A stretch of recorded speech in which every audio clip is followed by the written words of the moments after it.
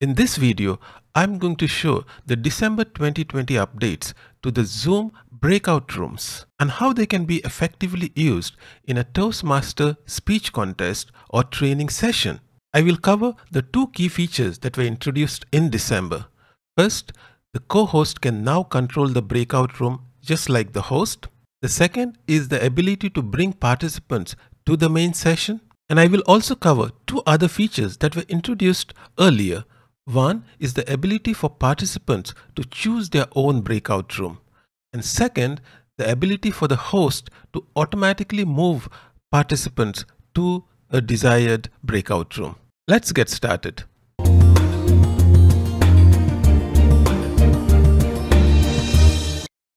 If you are new to breakout rooms, I highly recommend you check out my other video, link in the description, where I explain the basics of breakout rooms. That video was created in June 2020 and Zoom has made significant updates to the breakout rooms and in this video I'm going to focus on these new features. This is a typical Zoom meeting. I'm designated as the co-host. If I scroll to the bottom of the Zoom controls, I can see that I can now access breakout rooms. This was not possible before, only the host could manage breakout rooms. But now any co-host can click on the breakout room.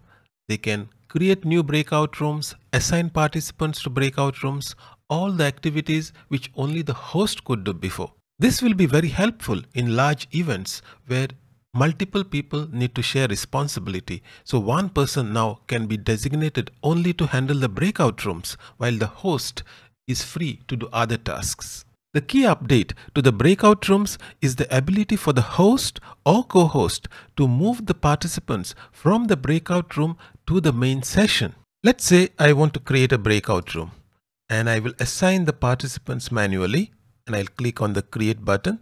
I can give a name to my breakout room. Let me rename it as isolation room. I will assign two participants to this room. If I open the breakout room by clicking on open all rooms, I can see both the participants are now in the breakout room called isolation room and the main session that's just me. When participants are in the breakout room, they can click on the leave button and they will get two options, either to leave the meeting or to return to the main session. Sometimes participants get confused and instead of returning to the main session, they end up leaving the meeting. And this can be a problem, especially in a Toastmasters speech contest. With the new update, the host can simply click on the name of the participant to be brought to the main session and click Move to select Main Session. This will give an alert to the participant that the moderator is inviting him into the main session and all he or she has to do is click on the join button and the participant is in the main session. For table topics and evaluation contests, this will be extremely helpful. Once a participant has finished his or her speech, all the host has to do is select the next participant who is in the isolation room and initiate the move to main session. This will avoid any confusion both from the part of the participants as well as the organizers. The next update is the ability for participants to choose which breakout room they wish to join. This update was actually introduced way back in September. This feature can be very useful if you're hosting training sessions in different breakout rooms and you want the participants to decide which training session they wish to attend. Previously, the host had to do this activity and it could be very difficult, especially if there are a large number of attendees. When you want to create breakout rooms where participants choose where they wish to go, click on the breakout rooms and make sure you choose the third option, let participants choose room. Click on the create button and create your breakout rooms. Let's create three breakout rooms and let's give them names. Let's call the first room judges training. Add a new room and let's say this is for the contestants. Add one more room and let's say this is uh, training for role players. Now all you have to do is when it is time to start the training, click open all rooms. Once the breakout rooms are opened, Participants will get an icon on their screen indicating that breakout rooms are now available. When they click on that icon, they get a choice to choose the breakout rooms. And once they choose the breakout room that they wish to join, click the join button and you will see that the participant has now moved to the breakout room of his or her choice.